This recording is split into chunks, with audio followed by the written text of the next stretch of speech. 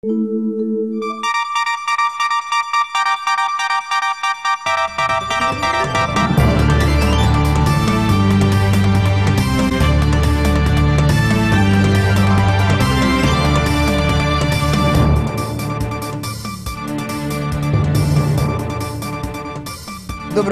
gledate Dnevnik, ja sam Maja Žeželj, ovo su najvažnije vesti.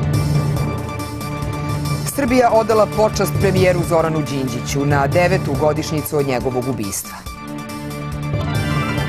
Generalni sekretar Saveta Evrope Jagland veruje da će Beograd do kraja godine dobiti datum početka pregovora o priključenju Uniji. Zakon o skraćivanju roka plaćanja na 60 dana ipak će sačekati novu skupštinu i vladu. Dan uoči raspisivanja izbora, Dačić, Krkobabić i Marković sporazumom potvrdili da će ponovo zajedno.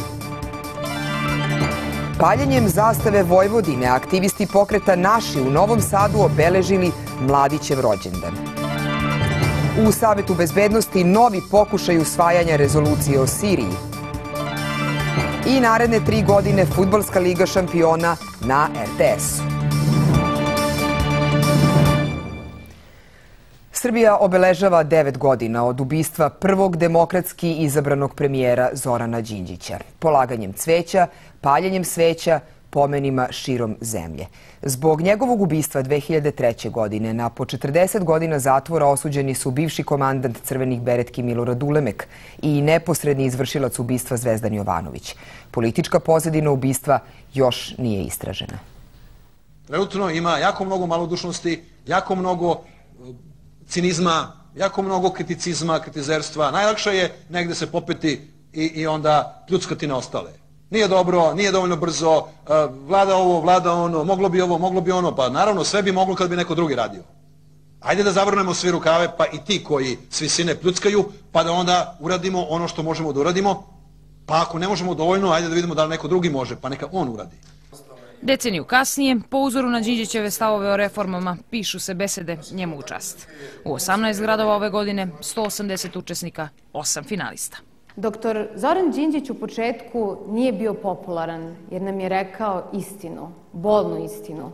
Na Balkan smo došli u sedmom veku i već 11 vekova smo deo zapadne civilizacije. Branili smo i od varvara, doprinosili smo njenom razvoju i da li je moguće da se danas u 21. veku pitamo želimo li da budemo deo te neke nove, moderne evropske zajednice? Vera je neophodna za pobedu. A to u šta veruješ, to i postoji. Jedino tako ćemo biti na pravom putu. Trnovitom, ali pravom. Najboljem Urošu Pavlovu, predsjednik države i žirija, Boris Tadić uručio je nagradu. Poručuje da nema reformi pre nego što se sami ne promenimo. Da li je moguće reformisati društvo tako što radimo jednak broj sati kao u prošlosti? Nije moguće reformisati društvo. Da li je moguće reformisati društvo tako što nismo popravili svoje ponašanje prema bližnjima, nismo postali pristojniji nego što smo bili. Nije moguće reformisati društvo. Reforma se zbilja dešava prvo u čoveku, u svakom čoveku, pona osob. Zoranova ideja je bila i u tome da oni koji se bave politikom, dakle javnim delanjem i treba da doprinose kreiranju javnog dobra, treba da promene svoje ponašanje, obhođenje prema svojim političkim protivnicima. Predsednik Srbije i DS-a prethodno je sa funkcionerima stranke i suprugom pokojnog premijera Ružicom Đinđić odao poštu ubijenom premijeru i nekadašnjem lideru te partije.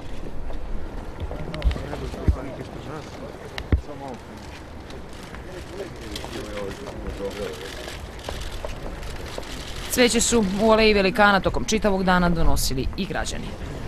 Šetnjom od Bukovog spomenika do aleje velikana na Novom groblju i omladina demokratske stranke odala je poštu pokojnom premijeru. Kod spomen ploče, na mestu gde je ubijen, venac su položili članovi aktuelne vlade. Simbolično, u 12.35 u vreme ubistva i ministri njegovog kabineta.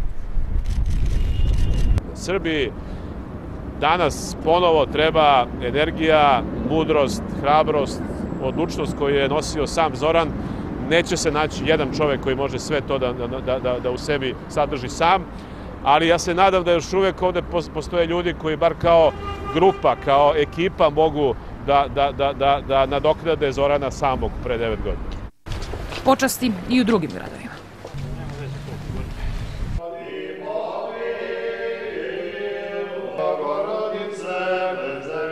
12 ih je do sada svoje trgove, ulice, ustanove kulture nazvalo po Đinđiću.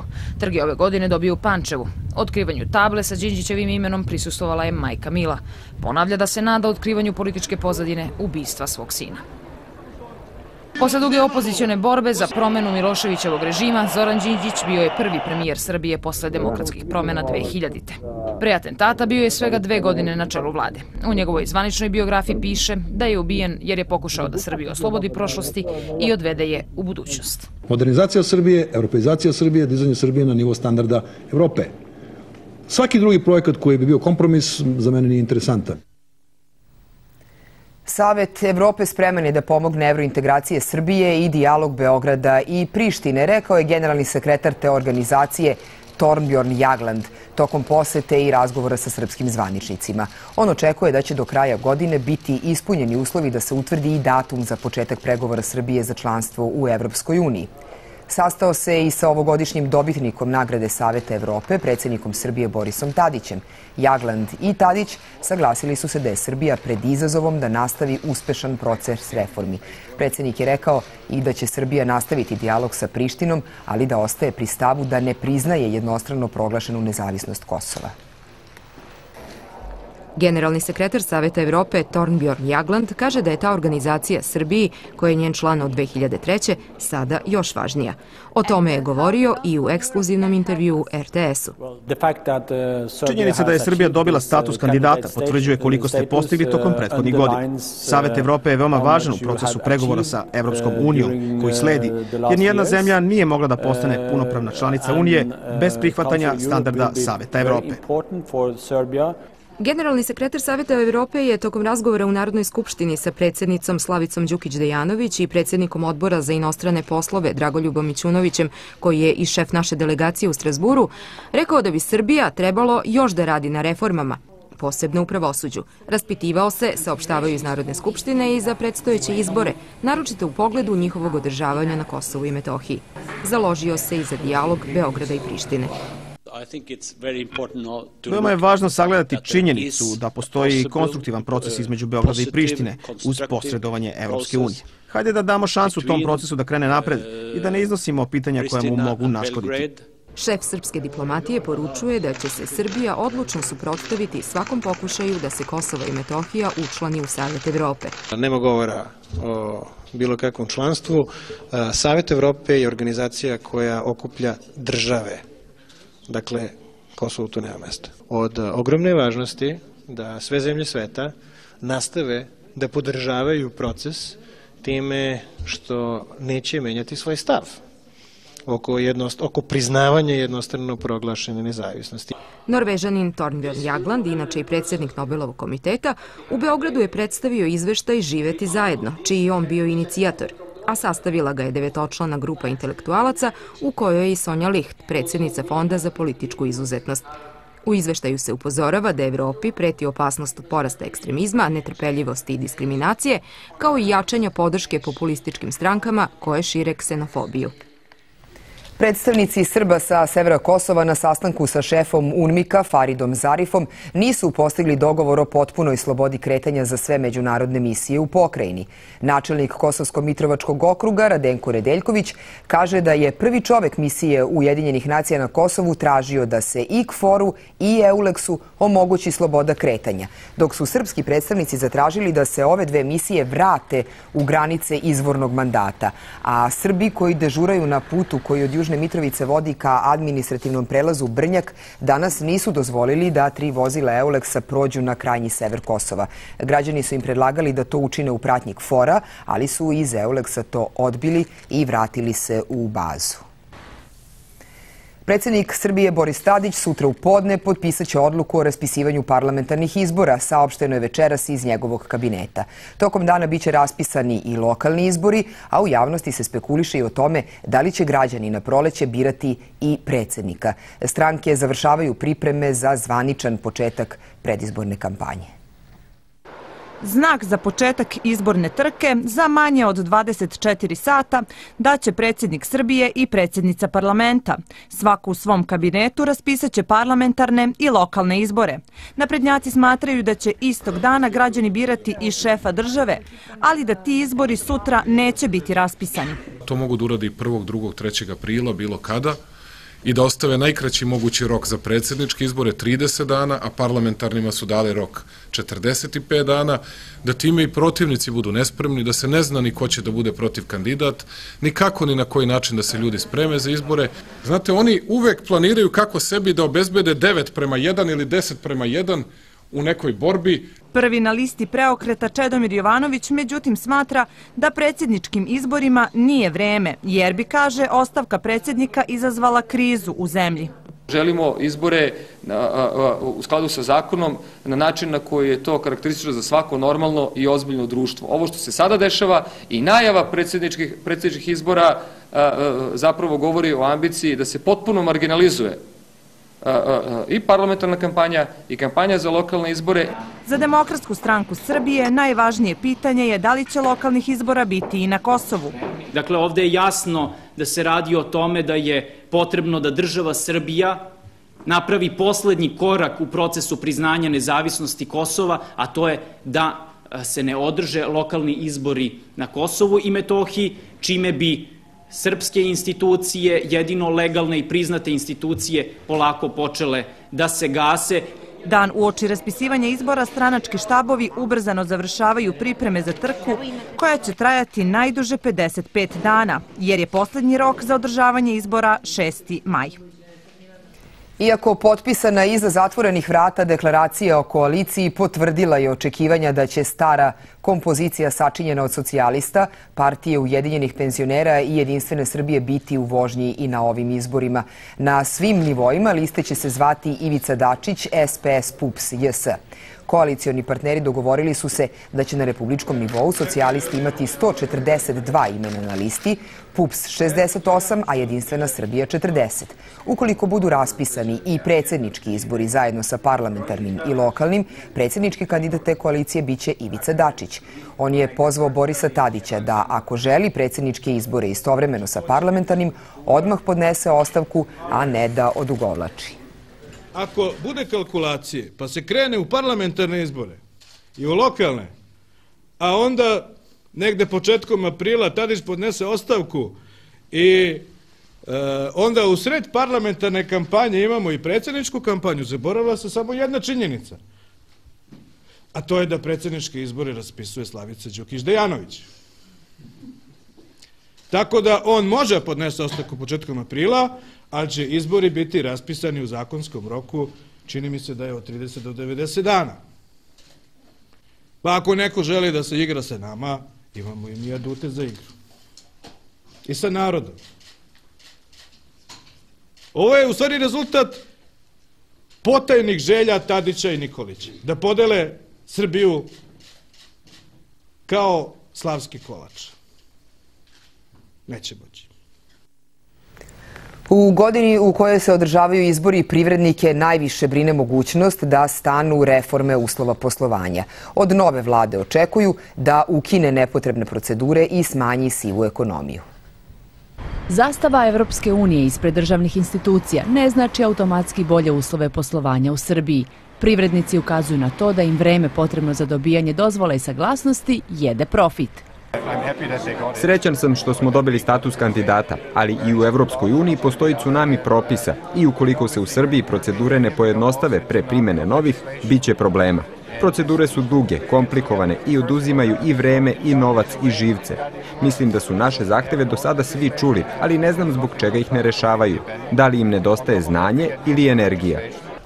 Izvesno je, unapred znaju privrednici, da će dosta energije biti potrebno da se reši i stara boljka, siva ekonomija. Da bi se povuklo više budžet iz realnog sektora, mora siva ekonomija da se optereti, a ne samo bela. Moralo bi da se srede opterećenja privredi, tako, moralo bi da se postice i daju u poljoprivredi. Privrednici se slažu da nije lako uskladiti predizborne obećanja i ono što zaista može da se uradi kada izbori prođu.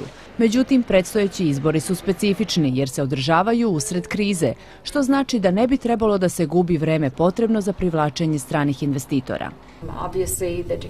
To što su političari preokupirani za vreme kampanje može da utiče na usporavanje reformi. Važno je da se i za to vreme postigne napredak i da se nakon formiranja nove vlade odmah nastavi sa reformama. I istraživanja ukazuju na strahovanja privrednika od toga da će predizborna kampanja dodatno usporiti izlazak iz krize. Čak 55% anketiranih privrednika očekuje loše prognoze privrednih kretanja, a samo 4% njih računa na poboljšanje uslova privređivanja. Minimalna neto zarada po radnom satu biće povećana od aprila za 13 dinara i iznosit će 115 dinara, odlučuje danas Socijalno-ekonomski savet. Odluka o povećanju minimalne neto zarade po radnom satu važiće, kako je saopšteno, do februara naredne godine. Navodi se da će vlada Srbije od aprila povećati neoporezivi deo zarade na iznos od 10.000 dinara. Zakon o ograničenju rokova plaćanja verovatno će morati da sačeka novu vladu, kaže ministar ekonomije. Na dodeli nagrade najboljem preduzetniku, Nebojša Ćirić najavio je da bi uskoro mogle da budu donete nove mere koje bi olakšale pokretanje proizvodnje. Srbija je zemlja iznenađenja. U jednom od najnerazvijenijih krajeva u Babušnici posluje jedna od najboljih firmi. Proizvode alate za industriju automobilskih guma, imaju gotovo 170 zaposlenih, ulažu u proizvodnju i ostvaruju profit. Prošle godine 2 miliona evra. I nama je preko 50% izvoznika ovaj, orientisana firma. Nažalost, eh, jedini najveći problem bio znači, oscilacije kursa nestabilnog kursa, zato što imamo dosta uvoza. Dok u Babušnici nemaju problema sa naplatom, jer, kako kažu, sarađuju sa svetskim igračima, kakav je Michelin, predugo čekanje na naplatu je ono što najviše muči privrednike, a država je obećala da će to pitanje rešiti. Jednom reči, u prošle godine naplata problematična u Srbiji. Mi jedva čekamo da jedna takva uredba zaživi, e, koja će omogućiti da se red uspostavi. Znate da nema ništa od toga dok e, vi u sistemu ne prečistite ko je zdrav, ko nije u smislu poslovnih odnosa. Zakon koji bi rokove plaćanja trebalo da skrati sa sadašnjih pola godine na 60 dana, već dva meseca čeka da ga usvoji vlada. Kako stoji situacija, mislim da neće doći na dnevni red. Sednica parlamenta koja je bila je bila, rekao bih, imala jako zgusnut raspored. Nažalost, kažem, ako ostane sve kao što jeste, neće doći na dnevni red, odnosno sačekat će novu vladu, ali kažem, zakon je jako dobar i dobio podršku privrede ali je tako kako je. Vremena za promene do izbora nema i zato novoj vladi ostaje i da reguliše razne lokalne takse i namete koji otežavaju rad privredi. Grčka je okončala zamenu starih obveznica u rukama privatnih kreditora za nove, čija je vrednost dvostruko manja od prvobitne. Time je obezbedila najveći otpis duga u svojoj istoriji. Otpis duga bio je jedan od najvažnijih preduslova za oslobađanje 130 milijardi evra iz paketa pomoći, bez koga je Grčkoj pretio bankrot za manje od dve nedelje, kada je na naplatu trebalo da stigne kontingent starih dužničkih hartija. Grčka se nada da će joj drugi međunarodni paket pomoći biti odobren u Briselu, gde je u toku sastanak ministara financija 17 zemalja eurozone. U Savetu bezbednosti Ujedinjenih nacija u toku je sastanak posvećen posledicama arapskog proleća. Jednoglasno je usvojena rezolucija kojom je produžena politička misija Ujedinjenih nacija u Libiji. Međutim, i dalje su različiti stavovi povodom krize u Siriji. S jedne strane, Sjedinjene države zahtevaju oštru osudu sirijskog režima, s druge strane Rusija se zalaže za pregovore. Iako je kao tema sastanka Saveta bezbednosti najavljeno arapsko proleće i budućnost zemalja koje su promenile vlast, najviše pažnje posvećeno i krizi u Siriji. Uči sednice, američki državni sekretar Hillary Clinton optužila je sirijskog predsjednika Bašara el-Asada za novi napad na Homs, dok ruski ministar spoljnih poslova Sergej Lavrov ponavlja da je potrebno pregovarati sa režimom. Ne verujem da zbog pitanja suvereniteta treba da dozvolimo masakr nad sobstvenim narodom. Asad je toliko ciničan da je pokrenuo novi napad na Homs u trenutku kad je primao bivšeg generalnog sekretara Ujedinjenih nacija Kofija Anana. Iskitreni zahtevi za promenu režima i jednostrane sankcije koje bi izazvale ekonomske probleme u Siriji su rizični recepti geopolitičkog inženjeringa koji bi samo doveli do pojačanja sukoba. Nema sumnje da je sirijski režim donakle odgovoran za nasilje, ali se već odavno ne bore protiv civila, već takozvane slobodne sirijske armije. Savet bezbednosti će pokušati da usvoji novu rezoluciju o Siriji, jer su prethodni predlog blokirale Rusija i Kina. Raspravljamo o nacrtu rezolucije kojim bi se našlo valjano rešenje krize. Neprihvatljivo je da ovaj savet bude sprečen da obavi svoju dužnost. Pozivam Kinu i Rusiju da preuzmu svoj deo odgovornosti. Sirijska ambasada u Moskvi potvrdila je da će povući ambasador iz nekih evropskih zemalja koje su već povukle ambasador iz Damaska ili se spremaju na taj potez. Pored Amerike i Kanade, diplomatska predstavništva zatvorile su Velika Britanija, Francuska, Italija i Švajcarska, dok je Španija najavila da će sniziti nivo diplomatskih aktivnosti. Dok se borbe u pobunjenim sirijskim gradovima nastavljaju, režim u Damasku optužuje Saudijsku Arabiju i Katar za terorizam. Makedonska policija privela je sedmoro ljudi koji se sumnjiče za napade na nacionalnoj osnovi u Skoplju i Tetovu u kojima je povređeno petoro ljudi. Makedonski MUP saopštava da su protiv njih i ranije podizane optužnice za krađu i nasilničko ponašanje. Policija navodi da su napadači iz Tetova članovi navijačke grupe futbolskog kluba Škendija poznati kao balisti. Tokom noći zabeležena su još tri incidenta u Skoplju.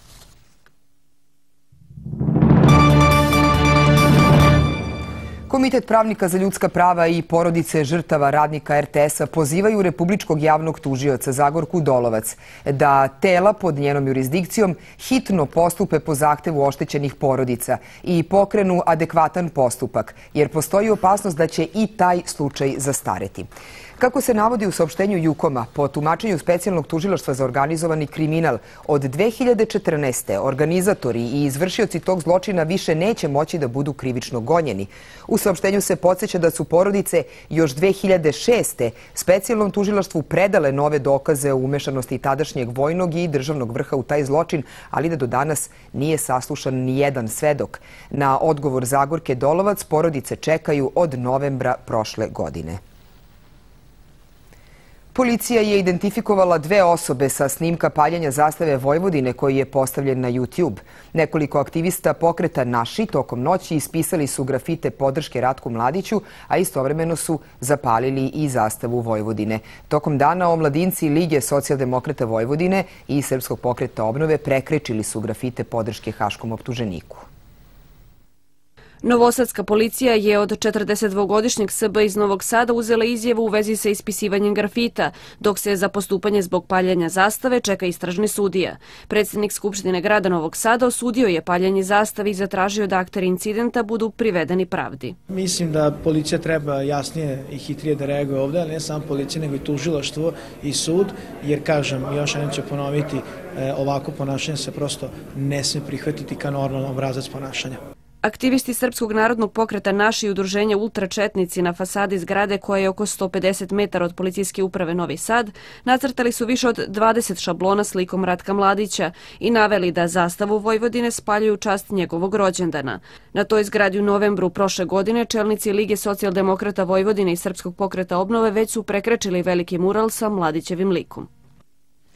Mala vrednost, ogromna šteta. To je glavna karakteristika krađa bakarnih i gvozdenih predmeta koje se gotovo svakodnevno dešavaju u Srbiji. Lopovi za kilogram bakra na crno dobijaju oko 500 dinara. Međutim, iza njih ostaje šteta koja se često meri milionima dinara. U blizini Pančevačkog mosta u Beogradu policija je sprečila krađu bakarnih kablova. Kradljivci su uhvaćeni na delu, ali su ipak stigli da ih preseku, zbog čega je gotovo 1300 korisnika ostalo bez telefonskih veza. Mnogim firmama zbog toga trpi posao. O tome svedoči i naš sagovornik, koji je želeo da ostane anoniman, kako kaže da ne napravi lošu reklamu vlasniku poslovnog prostora, gde je ranije bilo sedište njegove firme. Kada se mi pojavimo ujutru na poslu u 8 sati i vidimo da nam ništa ne, funkcioniše, ni kompjuter, ni telefon, ni e, internet konekcija, mi tog momenta zatvaramo firmu i prestajemo da radimo tog dana. Svakako da je šteta postojala ali da mi nismo htjeli mnogo da eksperimentišemo sa time, pa smo odlučili da, da se da pređemo na drugu lokaciju.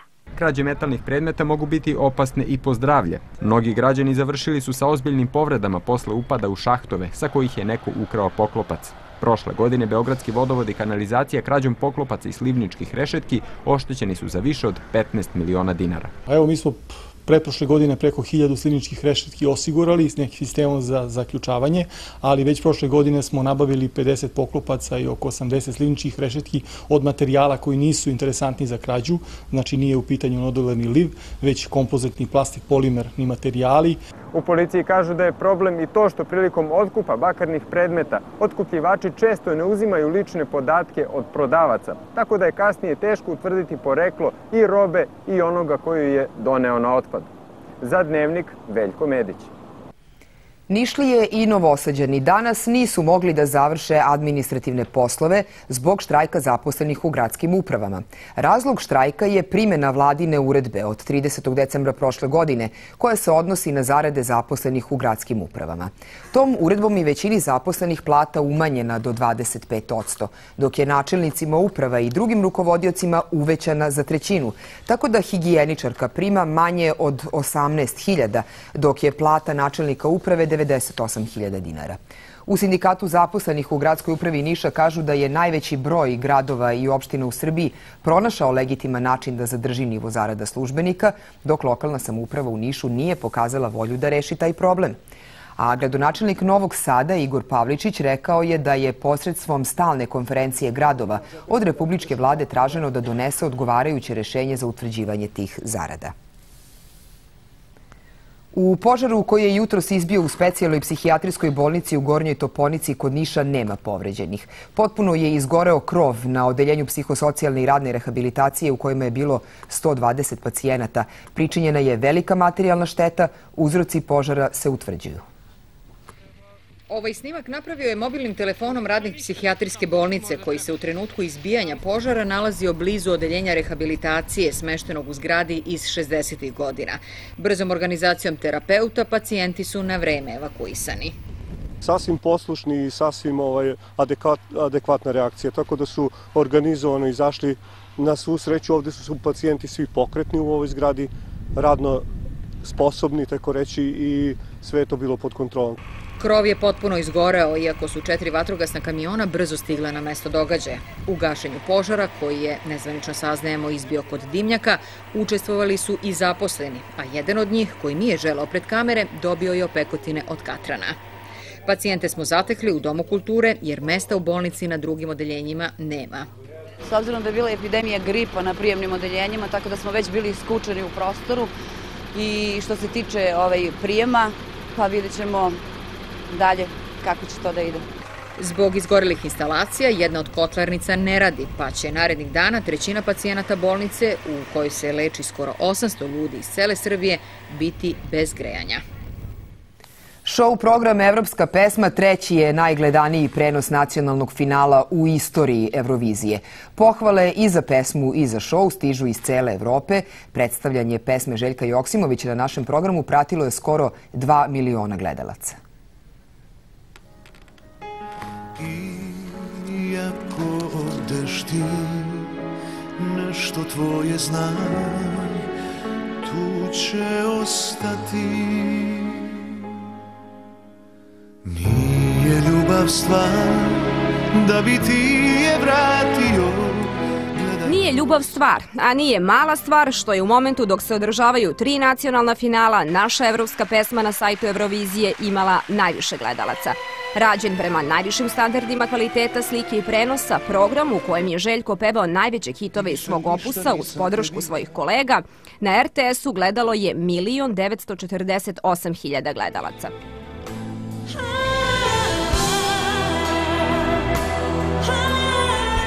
Srpska evropska pesma na našem sajtu i zvaničnoj Facebook stranici slušala se i gledala u 84 zemlje. Naš sajt zabeležio je 40.000 poseta više nego inače, a za samo 12 sati pesmu je preuzelo 5.000 ljudi. Organizatori Eurovizije Joksimovića karakterišu kao najistaknutije ime koje se povezuje sa ovim takmičenjem od 2000. godine. Podsećaju na drugo mesto iz 2004. i njegove uspehe kao kompozitora sa pesmama Oro i Lejla. Iako treći na kladionicama, Željko je spreman da ponese titulu iz Bakua u Beograd. Ocenjuju na zvaničnom sajtu Eurovizije. Nije tvoja ljubav stvar da bi ti je vratio Gledaj to U dvorani Kolarčeve zadužbine sinoć je počela četvrta Beogradska prolećna klavirska fešta. Festival posvećen umetnosti muziciranja na jednom od najpopularnijih instrumenta sveta. Beogradska klavirska fešta se već kroz svoja prethodna izdanja nametnula kao ozbiljan festival. Okosnicu čine tri platforme. Promovišemo to što je najvažnije, najmlađe umetnice i umetnike sa ovih prostora. A to je potvrđeno već prve večeri tokom nastupa mlade beogradske pijaniskinje Ljubice Stojanović. Druga platforma sa koje fešta treba da se razvije je promocija nedovoljno afirmisanog programa, ne bih rekao afirmisanog, nedovoljno izvođenog programa. I to je utvrđeno pre svega činjenicom da je uz odličnu filharmoniju Vitold Lutoslavski iz Vroslava, koja je specializovana za savremenu muziku, publika imala priliku da čuje redko izvođena dela kompozitora 20. veka. Treće, naravno, strani umetnici, poznati umetnici, velika imena i automatski povezivanje tih imena, takvih imena, našeg podiju, podijumu sa imenima mladih umetnika koji nastupaju sa ovih prostora. Ovu komponentu je svakako zadovoljio nastup Bertrana Giroa, uglednog francuskog pijaniste, koji je izveo malo poznatu fantaziju za klavir Claude Debussy.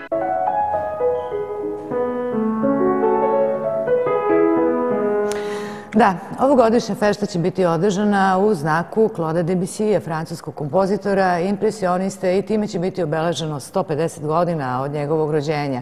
To istovremeno znači da će publika do 15. marta imati priliku da čuje mnoga njegova dela u izvođenju odličnih pijanista, među kojima je svakako najveća zvezda Yundi Lee, svojevremeno najmlađi pobednik čuvenog Chopinovog takmičenja. Mnogim mamama teško ide da se vrate u formu posle porođaja. Jedan od razloga je taj što nema ko da im pričuva bebu dok one vežbaju. Joga za mame i bebe mogla bi da reši taj problem, ali izgleda ne samo taj. Možete li da zamislite nekoliko beba na istom mestu koje su poslušne, smeju se i guguču čak ceo sat? Dobro, nisu baš sve poslušne. Poneke malo i odlutaju sa časa, ali to nije strašno jer je na jogi za mame i bebe bebama sve dozvoljeno.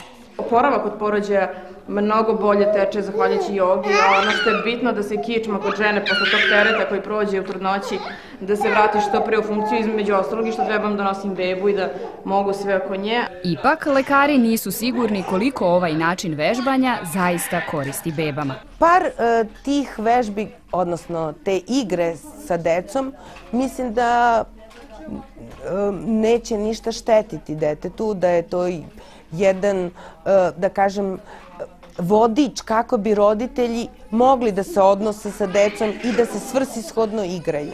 A za neke od ovih aktivnosti ja se baš ne bi složila e, što se tiče nekog e, suviše velikog ljuljanja, treskanja dece, pogotovo tog akta bacanja, letenja. U jogi nema forsiranja, naročito ništa sa bebom ne treba da, da, da se radi grubo, brzo i na silu. A taj ko, ko vodi časove, instruktor, učitelj, kako god, treba da poznaje motorički razvoj bebe i razvoj, razvojne faze bebe. Mame tvrde i da su ih časovi joge spasili muka od bebinih grčeva, suza i nesanica. Prije joj sad su počeli da je muči za biće, čini mi se da je mnogo manje nervozna kad dolazimo na časove nego kad ne dolazimo. Lekari ipak upozoravaju da bi pre svakog vežbanja sa decom prvo trebalo konsultovati fizijatra. On će utvrditi da li postoje neki deformiteti i potreba za vežbanjem pod stručnim nadzorom. Ako je sve u redu, igranje sa mamama nikada nije na odmet. Sport, tu je Peđa Milinković i još dobrog futbala na RTS-u. U naredne tri godine RTS će prenositi utakmice Lige šampiona i Lige Evrope u futbalu. U sedištu UEFA zvanično je potvrđeno da Radio Televizija Srbije nastavlja saradnju sa Evropskom futbolskom unijom. Za gledalce medijskog javnog servisa obezbeđen je prenos narednog trogodišnjeg ciklusa Lige šampiona, najatraktivnijeg klubskog takmičenja na svetu. Saradnja sa UEFA-om proširena je i na prava prenosa najboljih utakmica Lige Evrope. Velika zainteresovanost domaćih i stranih kompanija da svoje proizvode marketinški predstave u televizijskim prenosima futbolskih mečeva Lige šampiona omogućila je Radio Televiziji Srbije da, ne koristeći sredstva od pretplate, prava plati reklamnim vremenom. Janko Tipsarević plasirao se u treće kolo turnira u Indian Wellsu, pošto je sinoć pobedio Žila Millera sa 2-0 u setovima. Naredni rival biće mu Argentinac Nalban Dijan. Novak Đoković igra večeras u 21 sat protiv Kevina Andersona. Ana Ivanović sastaje se sa Ksenijom Pervak posle ponoći. A naša zemlja uspešno je organizovala još jedno veliko takmičenje. 59. šampionat Evrope u rvanju slobodnim igračko-rimskim stilom u Beogradskoj areni jedno je od najbolje organizovanih prvenstava svih vremena, saopštili su zvaničnici Evropske i Svetske rvačke federacije. Uspeh je upotpunio Davor Štefanek, koji je za Srbiju osvojio bronzano odličje. Malo je nedostajalo da do bronze stigne i Aleksandar Maksimović. Četiri velike pobjede jednoga i drugoga našeg borca su dokaz da oni spadaju u svetski vrh. Hrvački savez ostvario je tri cilje. Ovaj trofejni sport – promovisani u našoj zemlji. Osvojena je medalja, a Beograd i Srbija sjajno su predstavljeni u svetu. Drago mi je da mogu da kažem sa aspekta tehničke organizacije i svega toga što se dešavalo, da su to izrazi samo komplimenata i zahvalnosti. Na prvenstvu je učestvovalo više od 850 takmičara iz 43 zemlje. Najuspešniji su bili reprezentativci Rusije. Šampionat je bio dobra uvertira za kvalifikacione turnire za olimpijske igre imamo viziju da možemo imati dve olimpijske norme, što bi bilo mnogo, ali ne da imamo norme, nego da odu na olimpijadu i ja sam siguran ako odu na olimpijadu da će biti jedni od kandidate za visok plasman i možda i za osvajanje medalja. RTS-u je posle brojnih pohvala iz EHF-a za vrhunske prenose rukometnih utakmica na evropskom šampionatu stiglo novo priznanje za kvalitet prenosa rvačkih mečeva u Beogradu. Tužilaštvo je dalo nalog policiji da hitno identifikuje osobu koja je napala Lazara Markovića, futbalera Partizana. Posle remija u meču sa Slobodom, grupa huligana preskočila je ogradu i utrčala na atletsku stazu. Tom prilikom napadnut je Marković. Disciplinska komisija Futbolskog saveza Srbije pokrenula je postupak protiv Partizana, Rada i Novog pazara zbog incidenata koje su izazvali navijači. A sada o lepšim futbolskim temama. Svaki meč kad igra Barcelona mali je sportski praznik. Svi se pitaju da li će Messi postići neki gol. Tako je bilo i protiv Racinga u Satanderu. Barcelona je triumfovala sa 2-0, a oba pogodka delo su argentinskog futbolera. Leo Messi je najprej u 29. minutu matirao odbranu gostiju. Potom je iz 11 terca u 56. obezbedio tri boda za svoj klub. Posle utakmice najbolji futbaler sveta izjavio je da je trener Guardiola najvažniji za ekipu, važniji i od njega. A u Francuskoj drugoplasirani Montpellier pobedio ekipu Kajena sa 3-0. Na prvi pogodak čekalo se 51 minut. Ait Fana je načeo protivnik. Kamara je u 83. povećao na 2-0, a ceo posao završio je Žiro sa bele tačke.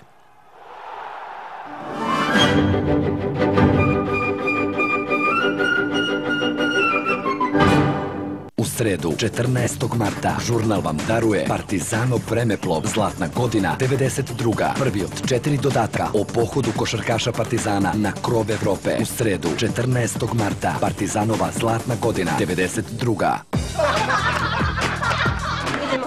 A, ne, ne, ne, ne, ne. Jaknu sebi, ajde.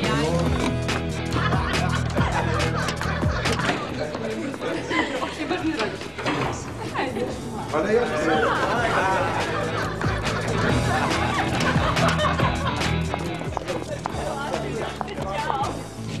ne, još jednu. Nama je toliko dobro zajedno da prosto ne možemo da se rastanemo. Jer imamo pravo na dobra vremena. Ili jesi ili nisi. Love. Da godina bude rodna. CP 684. Gospodar polja. Prinos za ponos. Institut za kukuruz Zemun polje. Svinski bučnica i mleveno 369,90, svinski vrat 329,90, svinski kare 319,90, 13. i 14. u Univer Eksportu. Pionir seme. Prava stvar za mene. Imamo.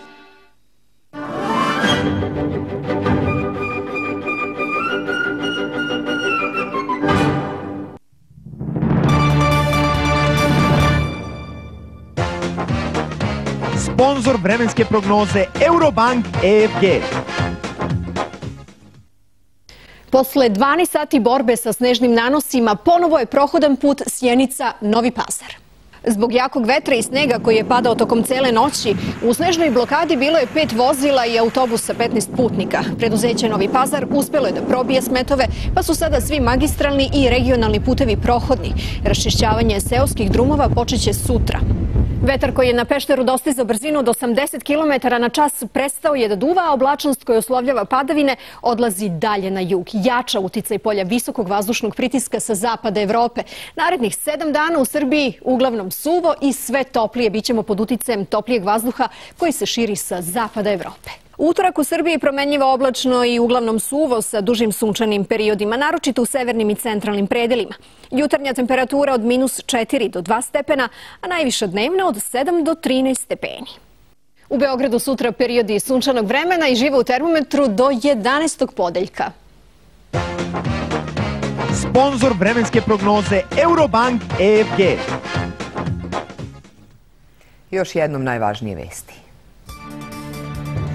Srbija odala počast premijeru Zoranu Đinđiću na devetu godišnicu od njegovog ubistva. Generalni sekretar Saveta Evrope Jagland veruje da će Beograd do kraja godine dobiti datum početka pregovora o priključenju Uniji.